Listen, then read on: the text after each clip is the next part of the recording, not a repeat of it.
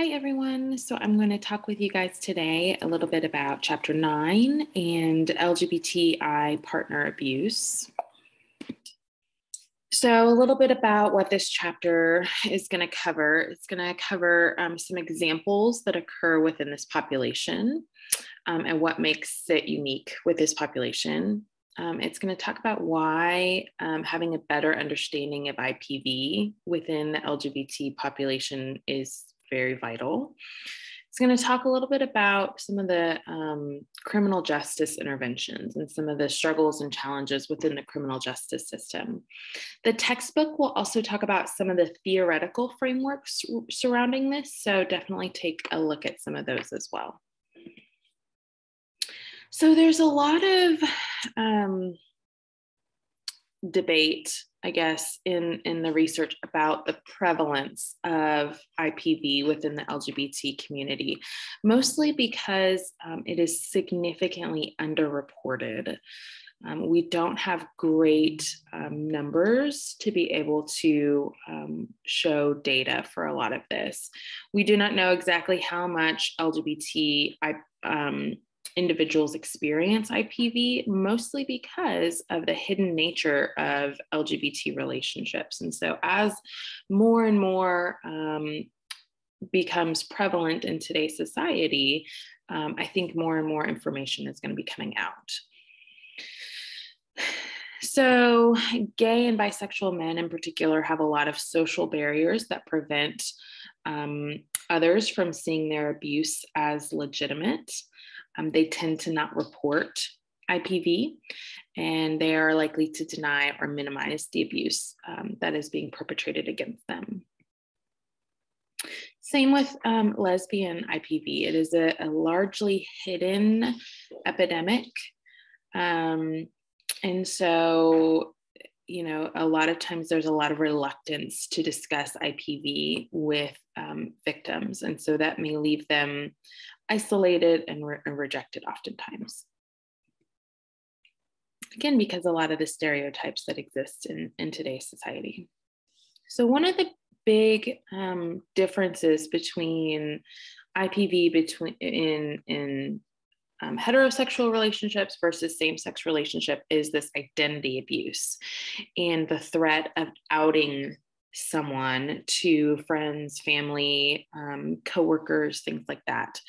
So, outing is the act of exposing someone as being gay. Um, so, telling family, coworkers, a boss um, about the victim's identity, which may jeopardize their personal um, or professional relationships. Threatening to out someone can cause anxiety and inc- increase the person's isolation. So, we have some research that um, talks about gay men um, who have found greater satisfaction in their relationship um, are less likely to report IPV. So, this study reinforced the idea of shared values and goals being integral um, in a relationship um, and having relationship satisfaction again, there's many similarities between IPV and heterosexual relationships and IPV, but there are some pretty significant differences.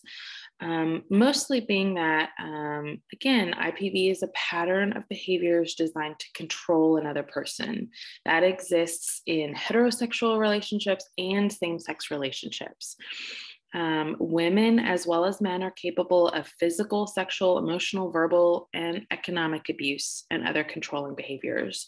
So, again, you will see a lot of the same um, similarities um, between um, a heterosexual couple and a same sex couple in an intimate partner violence relationship.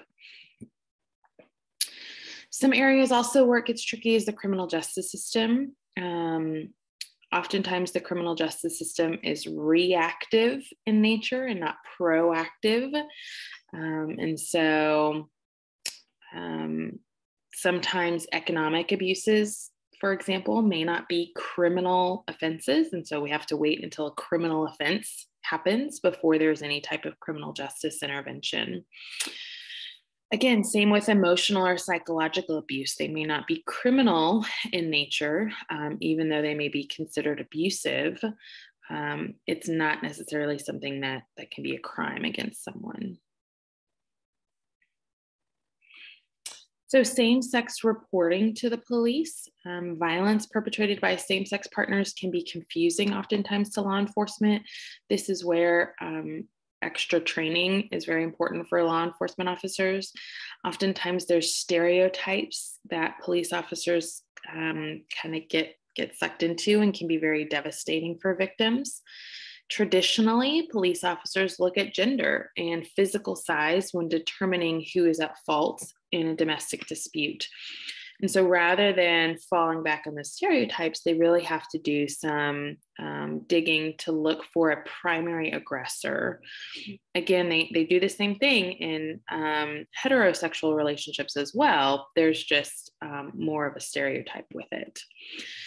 So the primary aggressor is um, the person in a domestic dispute who is the most significant or principal aggressor. And so that's what police are looking for, particularly in same sex relationships. And then finally, um, gay and lesbian victims may not have civil or criminal protections from abuse unless the definition of domestic is recognized, um, particularly in that state. And so there's um, oftentimes very few support services for LGBTI um, survivors. Um, there's very few shelters or hotlines that exist. Um, so that's definitely there's definitely several legal issues that um, LGBTI survivors um, struggle with oftentimes. So, this is a little overview of the chapter for this week. As always, if you have any questions, um, please feel free to reach out. Um, thank you guys so much.